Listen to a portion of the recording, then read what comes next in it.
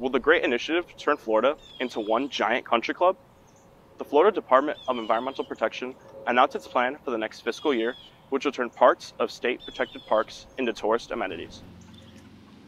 The plan designed to bring more people to state parks has teens concerned. Shortly after the plan was announced, teens began voicing their concerns on social media and in person. Some gathered on Honeymoon Island Beach, one of two Tampa locations targeted by the order.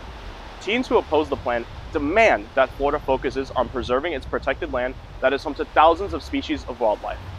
Following the concerns of Florida residents, Governor Ron DeSantis said the plan would be going back to the drawing board. But as of today, no changes to the original plan have been announced. If I had to say, Florida would not build over its protected land. It would be destroying the homes of our wildlife and the landscape that is the main draw to tourists. This also means that anyone wanting to experience these outdoors experiences would need to spend thousands on hotel rooms or country club fees, something that would send us teens back into our homes and back on screens. And while the future of the initiative is still up for debate, teens have made it clear save our state parks. For the Wrangler, I'm Giancarlo Lence reporting.